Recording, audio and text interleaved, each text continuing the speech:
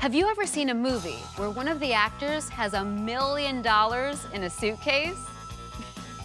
well, with Powers of 10, we can see what that really looks like. Check this out. Here we have $10.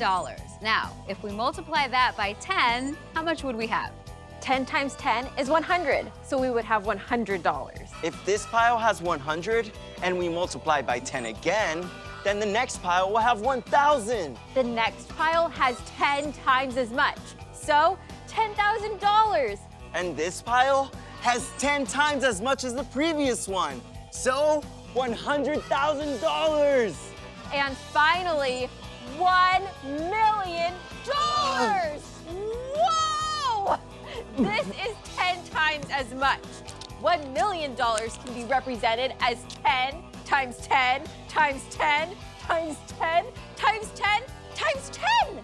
Yes, you can see that each pile has 10 times more than the next one. This chart shows three different ways to write each number. There's number form, like 1,000. There's expanded form, which is 10 times 10 times 10. And now we have another way to show this number, using powers of 10. What patterns do you notice in this table? The power of 10 shows us how many times to multiply by 10. Yes. Anything else? How many zeros there are in the number is the same as the number in the power of 10. Great observation.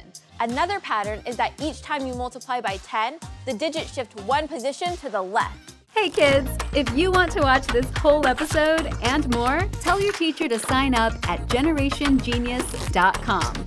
We cover all math topics, grades K through 8, and you get to watch it in class. But only if you tell your teacher.